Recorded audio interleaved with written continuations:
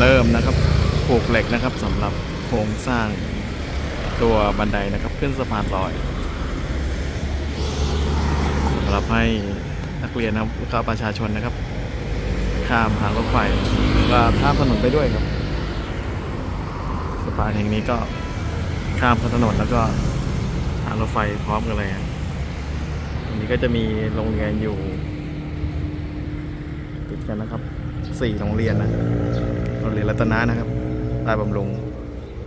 โรงเรียนวัดบ้านโป่งสามัคคีคุณอุปถัมภ์ครับวิทยาลัยบ้านโป่งบริหารธุรกิจนะครับ แล้วก็โรงเรียนเทศบาลสองวัดบ้านโป่งครับอยู่ข้างหลังโดมเนี่ยครับสีฟ้าของโรงเรียนวัดบ้านโป่งสามัคคีนะครับสีเขียวก็วิทยาลัยบ้านโป่งบริหารธุรกิจ แล้วก็จะมีด้านหลังของโรงเรียนนะครับ อยู่ติดรั้วเดียวกันอีก ก็จะมีเรียนเทศบาลสามวัดบ้านโป่งนะครับโรงเรียนตรงนี้นะครับก็โรงเรียนรัตนาราชบำรุงเรียนมัธยมประจำอำเภอนะครับ ไม่ไกันไกลไม่ไกลกันนะครับ ก็จะมี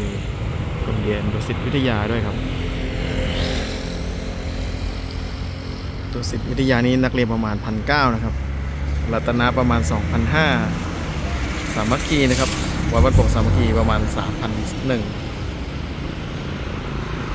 เวลาบ้านโป่งบริหารธุรกิจ500 นะครับ แล้วก็ของเทศบาลอีก 300 รวมๆแล้วตรงนี้ก็นักเรียนประมาณ ประมาณเกือบ 9,000 คนได้นะครับ เกือบหมื่นคนสะพานลอยนี้ก็น่าจะต้องรับบทหนักเลยนะครับ เพราะว่าทั้งโรงเรียนแล้วก็ยังมีชุมชนข้างหลังสองฝั่งอีกด้วยฮะ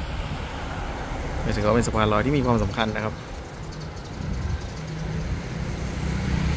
อ่า ถ้าใครได้ติดตามผมนะก็เคยถ่ายความคืบหน้าให้ชมชมนะครับว่ายกตัวโครงสร้างสะพานลอยมาวางไว้นานแล้วครับ แต่ยังไม่ได้ทำบันได ตอนนี้กำลังจะเริ่มทำบันไดแล้วครับเดี๋ยวก็คงจะเสร็จใช้งานได้ครับเดี๋ยวเดี๋ยวก็จะกั้นรั้วสักทีนักเรียนได้ไม่ต้องเดินข้ามตัดหน้านะครับแล้วก็เพื่อความปลอดภัย